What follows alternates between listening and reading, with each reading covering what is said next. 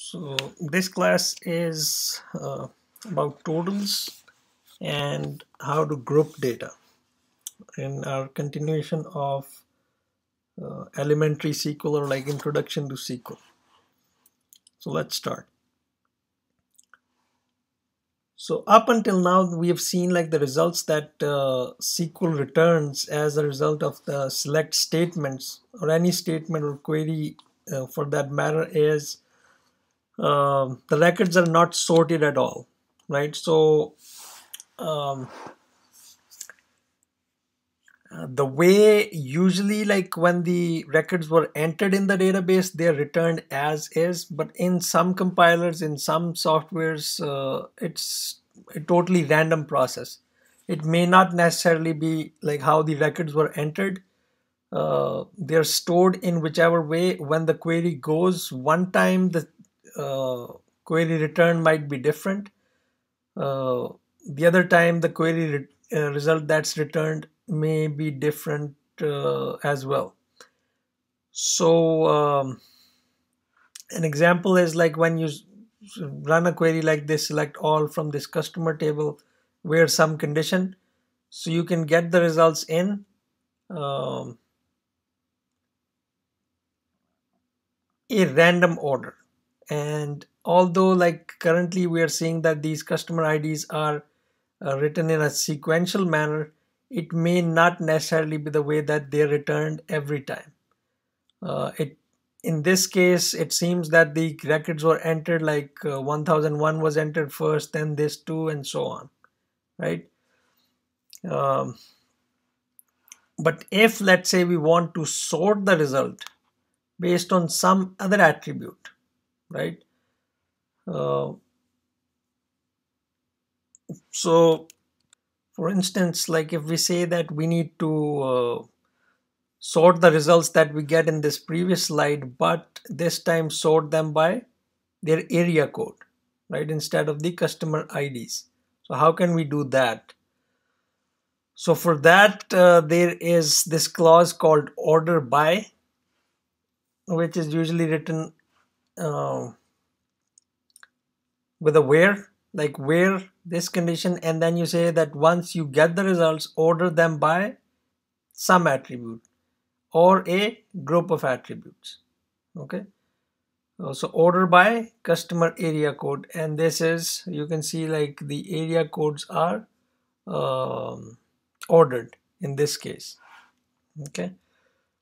Uh, so basically order by is the keyword that you use and then you write the attribute by which you want to order the results. Then you can also say whether the results that are entered are returned in an ascending or a descending order by the keywords ASC or DESC. Okay. For instance, in this query, we are saying that uh, customers uh, whose ID is greater than 1000 get them get that result and then order them uh, the area codes in an in ascending order and phone numbers in a descending order. Okay. So that's the uh, result of this query that we said that order by area code in ascending order and then customer phone number should be descending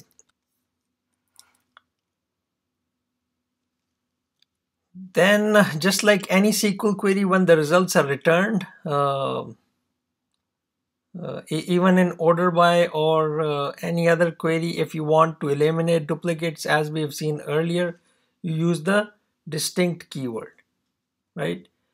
Uh, so you can just write select distinct last names and instead of like last names being repeated in a normal query, for instance, this uh, the first last name Vescas is not going to be repeated in this uh, version of the result. Okay? If you say distinct that's like elementary. We've seen that earlier.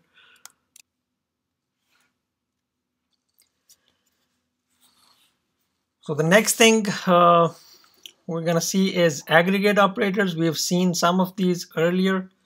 The others just to show you like there are a number of aggregate operators that you can use if you need to count something you say count star like count everything. If you want to count some uh, attribute or column you can name those as well. And again the keyword distinct if there are uh, multiple versions of those uh, or that multiple versions of records in a single column having the distinct keyword will eliminate them and count them only once. Similarly sum average find the minimum of a column maximum of a column. So you can have these again and again um, we can apply these on numerical attributes. You cannot apply them these on varchar or other types of attributes. Okay? So for instance the query example that's given here is count the number of sailors. Assuming that there's a sailors table uh, so you can just say count star and that will count all the records if there are 10,000 records in that table, uh, the result of this query will be 10,000. Okay.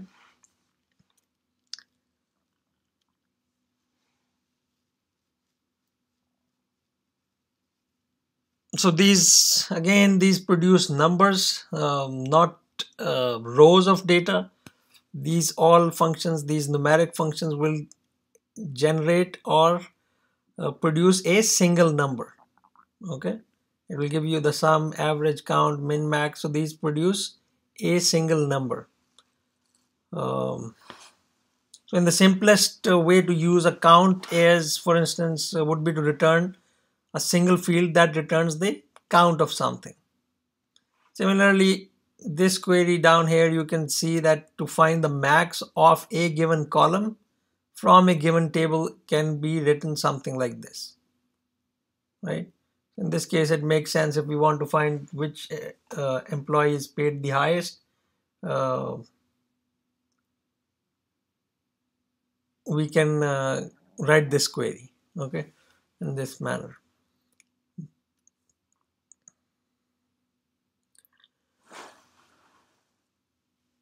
so in counting like you you can't use uh, or i shouldn't say can't you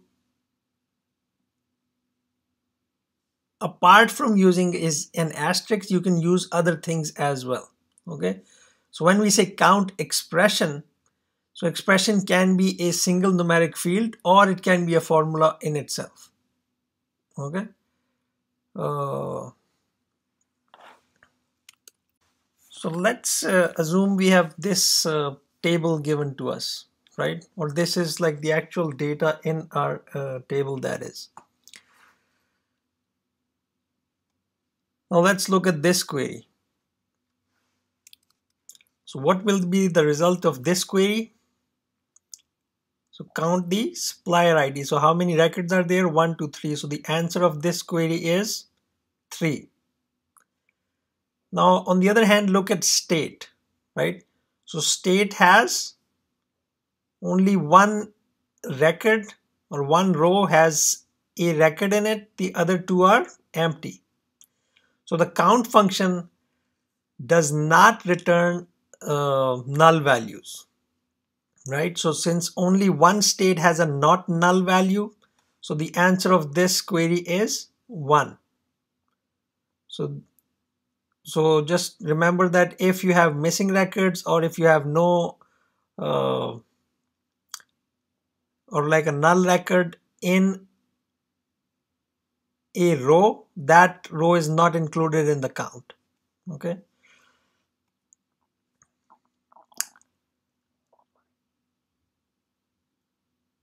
So here we are saying like how many employees have a salary that is above $25,000 okay. But what are we doing here? We are saying select count distinct department as unique department. So as all you know, all know is when the result is returned this will be the name of the uh, column. Okay so where whatever condition. So select count distinct department. So if the departments are repeated we don't uh, want that we only want departments to be counted once and when you get the count write it in the uh, under this uh, column okay from employees where salary is greater than 25,000 So how many employees have a salary that is above $25,000 per year, for instance? So that is uh, this query essentially.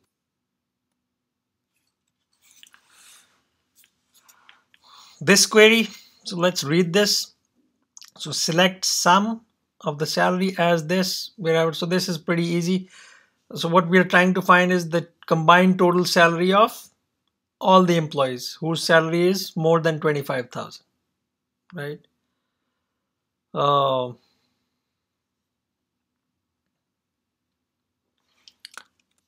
how different is this second query then? So just think about it like select sum of distinct salary as this from employees where salary. So the only difference is distinct salary here. In the first case, we're getting the combined total salary of all employees whose uh, salary is above 25,000. In the second case, we're getting the word distinct, meaning that if there were, let's say, two salaries of $30,000 a year, only one of those will be counted in the sum function. Okay.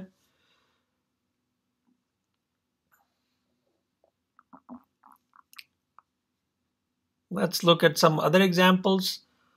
Uh, so given this schema, find the average age of sailors with rating 10. So try to solve this, pause the video, try to solve this and see if you can uh, solve it. Pretty straightforward. Just say average of uh, the age attribute from this table where whatever the condition was given, right? Then count the number of different sailor names.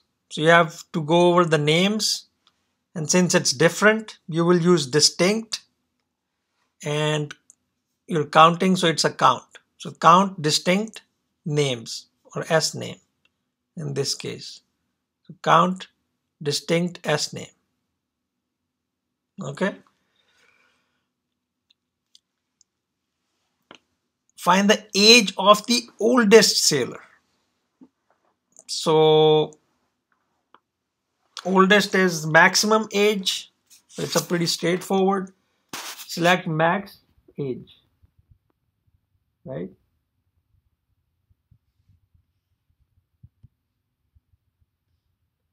On the other hand, if you are saying find the name and age of the oldest sailor, you cannot do this. This is illegal. This is not allowed. Can you think of a reason why? The answer is because you cannot combine a single value with a column type of result.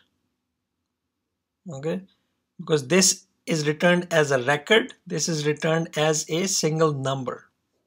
Okay, so what's the best way to write this same query? Something like this that you find first the name and the age. Say, give me the name and age but in the where condition, you put that condition on age that where this age that you're going to throw out is etc etc. So in there, you put the max age limit. So from here, a number is thrown. So where age equals a given or a single number. And then this returns a uh, record or a row of data. So this, the max query returns a single number that cannot be output in conjunction with a record. Okay. So that is an important point to remember. Now in uh, our queries up until now we've seen like this aggregate operator that's applied to all the tuples, right? or all the rows of data. What if we want uh, something else as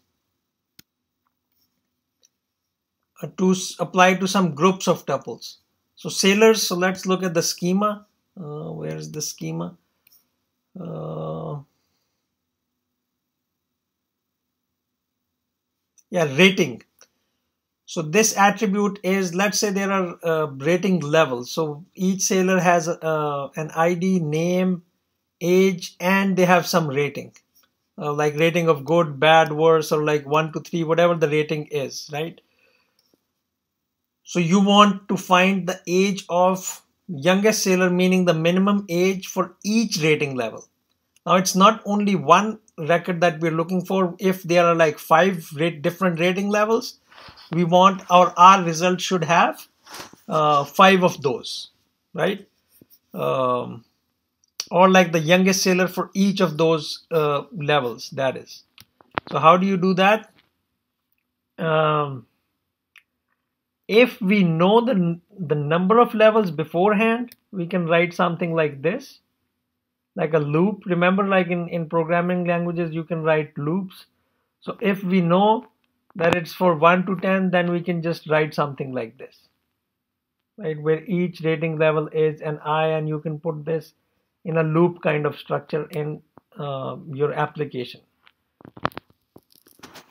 However, we don't know how many rating levels exist beforehand, right? So you're just querying the database, you don't know how many records or different levels exist. Then how do you do that? You can't write a loop, you can't write a while or a for loop because you don't know how many levels exist, right? So for these kind of situations, there is a new um, construct called group by. So you can group by across uh, in like an, in an example across different rating levels okay so group by is basically the clause uh, that can be used in a select statement to collect data across multiple records and then group the results by one or more columns for example so we select a number of columns right so expression 1 to up till n are expressions that are not encapsulated within an aggregate function and must be included in the group by clause. So if you have, let's say, three attributes up here,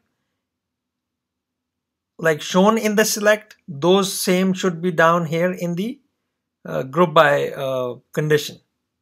Okay. So these expressions, expression 1 to n, so these are columns or attribute names that are not encapsulated inside this aggregate function. Okay. If the aggregate function is running over, let's say, uh, age, the name of the sailor, the ID, etc. So they are not inside this aggregate function. So then these attributes that are not the aggregate function should be in the group by. Okay and we will see examples then it'll become more clear so this is just like a graphical depiction of how it it works how the process works so first like the uh, uh, records are grouped according to like those uh, the condition um, like in the group by list condition and they all agree on those attributes um, and then out of those you can find aggregates for each of those rows. So first out of these like the whole uh, data set the groups um, uh, like you only get those attributes that are in the group by list then all rows that agree on a group they become part of a group and then if there's an uh, aggregate query then it's run on each of those groups so this one group aggregate query returns this one row. These 15 rows, when the aggregate query returns, it will return a single row and so on. Okay. So each row then will describe a single group based on that aggregate function. Okay. So let's look at an example. So remember our, our query find the age of the youngest sailor for each rating level, right? So we said again min age to find the youngest sailor from each rating level. Hence we say group by the rating or rating level. So here we have how many rating levels? Three. which is 3, 7 and 8. So these are three rating levels. Out of these, find the minimum age for each one of those. So since age is included here, the other attribute is not included here and then the same attribute is in the group by condition. So that's what this was saying. Okay. So if you have an attribute in written in the select, uh, then that same attribute goes in the group by. Okay, so what's the result? So first what happens is out of this, uh, they're grouped together or like they're not they're not physical results virtually like this is what the compiler is doing that's what the sync uh, uh, SQL interpreter is doing it goes in the database. It says okay I found a record for rating 3 I found another one. It just puts them together groups them together. Okay. Then the next step is for each of those that aggregate is applied on each group. So aggregate was find the minimum age. So out of 2563 it says this. This one has no conflict. So the same record comes and so on. Okay. So that's how this group by works. So first it makes these groupings. Out of these groupings it applies the uh, grouping function. So let's look at this example. So let's say you have uh, like a schema I think I show you in one of the coming slides uh, but let's say you have a transcript table with these uh, attributes and uh, you want, want to find the average grade and the number of courses. Okay. So student ID's average grade to count the number of courses, you say count of like count everything. Like here, if it's four records, it'll come like this. If it's five, count comes as five and so on okay and again since it's not in these uh, aggregate queries this attribute it should be down in the group by same attribute or same list of attributes. Okay?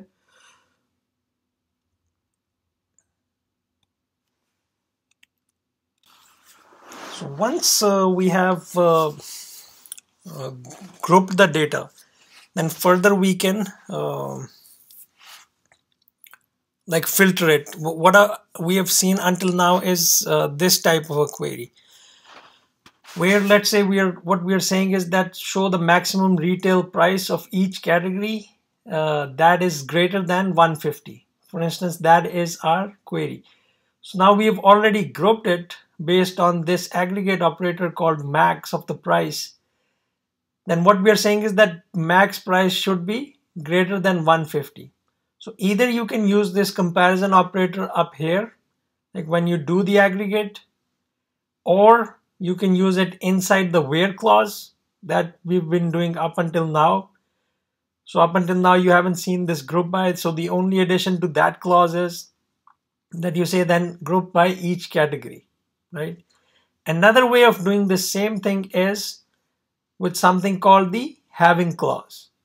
So having basically is uh, added or is in addition to group by where you say that when you're grouping these items have this condition or apply this condition on this aggregate function. Okay, so look at this thing up here. So here whatever you're aggregating here, right? So you can use uh, a condition on the same operator down here okay or the sorry the same column down here okay uh, example is something like this. So for the same query instead of writing in select up here uh, the max price is greater than 150 or inside here we can say having the same thing that's in the aggregate operator up here greater than 150 okay? So this is more appropriate than or this will give you a better result than these queries. Okay? Uh, so let's look at uh, another example here so this is our schema given up here. These are tables, student table, professor table, and so on. Okay. Um, so what we're going to use is the having clause. Why? Because it's used, uh, like I said, with the group by to restrict the groups of returned rows to only those in which a given condition is true. Okay. So what are we saying in our query? So we are saying select the student ID, the average of the grade, like whatever the transcript grade is, right? As like cumulative GPA, CGPA, and count the number of credits from this table where course code is like and uh, CS something like for computer science students that is group by each student having average grade is greater than 3.5. So essentially we're looking for students whose GPA is greater than 3.5 find their cumulative GPA and uh, the number of credits that they have taken right in courses related to computer science so that is essentially what this uh, query is saying so and you can see that this having operator how we have used this inside um, this group by condition or in conjunction with group by okay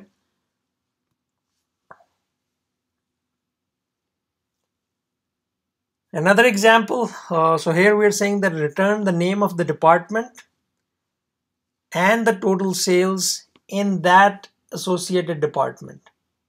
Okay. So this SQL having clause down here will filter the results so that uh, only those departments where the sales are greater than 1000 can be returned or will be returned, right? Then in this query. So what are we doing here? So pause and think what this query means. Okay. So this essentially means that return the name of a department. When we say select department, essentially like getting the department name uh, and the number of employees they count the number of employees in the employee table that make more than $25,000 let's say a year and then uh, group by each department having the count greater than 10 so count greater than 10 of what? Number of employees. So this having clause essentially returns or filter the results so that only those departments uh, where more than 10 employees are housed only return those uh, records. Okay uh, another example just the the sailor example that we saw earlier so we're just extending extending that example so in this example what are we saying so we are saying that find the age of the youngest sailor for each rating level. We've already seen that in the group by and the condition is that has at least two members. So in essence, don't get this uh, record with 745 because 3 and 8, these rating levels have at least two members, right? So eliminate, eliminate groups that have less than two. So this was our base query. Then we did what group by um, rating, right? And then having what? Simple count greater than 2 or count star greater than 2 or at least uh, at least 2 sorry. Not more than 2 at least 2 is greater than 1 so it will be uh, 2 and more right? Or you can just say greater than or equal to 2 okay?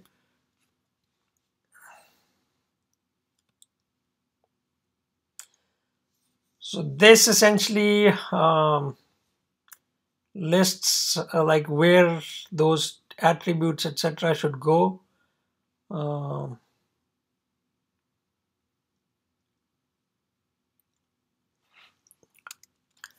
basically like rules uh, which attributes should be where included where So for instance, when we say select target list. So in the target list, if you remember, we can have attributes or their aggregates, right? This target list can only contain attributes, different column names or aggregates on a column, let's say, or a set of columns. Then uh, the attributes that are up here in the target list, they need to be or they must be in the group by, okay? Unless they are an aggregate. So anything that's an aggregate can be avoided here, but if it's not an aggregate and it's up here, it should be down here in grouping list as well, okay? And then what comes in the having, what types of attributes come here? So here these same attributes that you group by and essentially they're coming from up here from the select they should be here or they can be an argument to an aggregate function from this target list up here so an argument to an aggregate function so aggregate is let's say uh, um, uh, minimum of age so you can just here say having age greater than 40. So the same uh, argument to this aggregate function should be uh, can be down here. Okay. And this is just like the same graphical description that I showed you earlier. So you select from where will get you this type of query. When you do group by, it divides that query result into separate groups. Out of these, uh, you say having some condition, so some groups may be eliminated, you get down with this. And then finally on these, uh, you can apply the aggregate functions. So that's how usually the query is evaluated in the SQL language. It starts from the empty database, coming to the query result, it passes through these steps in these order or in this uh, specific order uh, process. Okay. So let's just look at a few examples. Given our, if you remember uh, the schema that I showed you earlier in one of the slides regarding, uh, what's that, uh, like a university database with students and professors taking classes in the transcripts and so on. So output the name and ID of all seniors on the dean's list. So names and IDs. So up here it says select name and ID. So if you remember these are up here so they should be both in the group by, right? They should both be down here in the group by. Okay. Where this, this, this condition having, uh, so Dean's list is uh, greater than 3.5 GPA and um, like number of credits greater than 90 so this alone is wrong this query is right why because every attribute that occurs in the select needs to be down in the group by okay so I just wrote this on the slide so you guys remember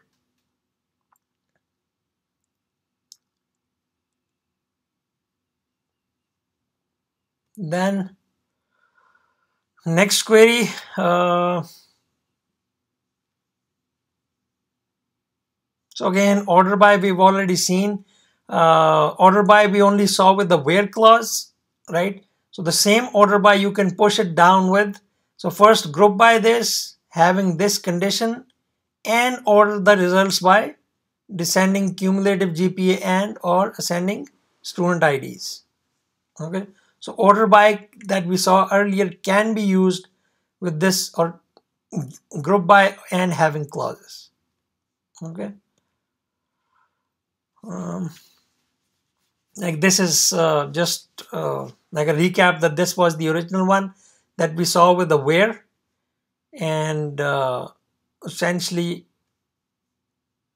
we can use order by in or with uh, group by and having condition. This is like uh, again showing you how the query gets evaluated. Just wrote them on a slide so you guys can read and review. Then uh, finally, there are different set operators. Um,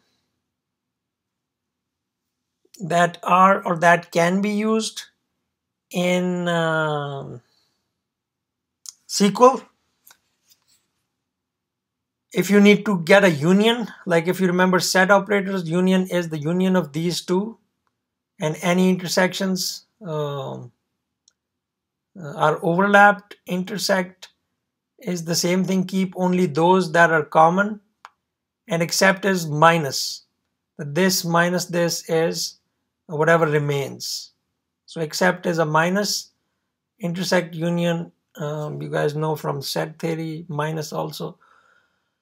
So how do we apply these? Um, union looks something like this, that you get one part of the query, another query, though both returning uh, some columns, uh, and then you can add union in between. The only caveat is if you remember from set theory, uh, like there are some operations in which uh, like sets have to be in certain orders. In this case, the condition that applies on the union operator is that both queries should return the same columns. Okay, same column names, um, same number of columns returned by uh, each separate query and then you can unionize them. Okay? Union by default will remove uh, remove all the duplicates that are in the result. If there are three washington states in the result you only see one of them because union by default will eliminate the repeating rows if you want to see every row in the union again the operator is union all that show all or union everything. So then you can see the repeating records as well. Okay. Intersect, there's a typo, and except are not supported in MySQL, but you should remember or know the theoretical basis for these. Okay. How you can use except. And we will see examples of that in uh, like a couple of classes. But for the sake of assignments, homeworks, exam, you should know how these operators work uh, theoretically. A union you can run in MySQL as well, but I don't think you can run an except. You can try, but as far as I remember, I think uh, you can't.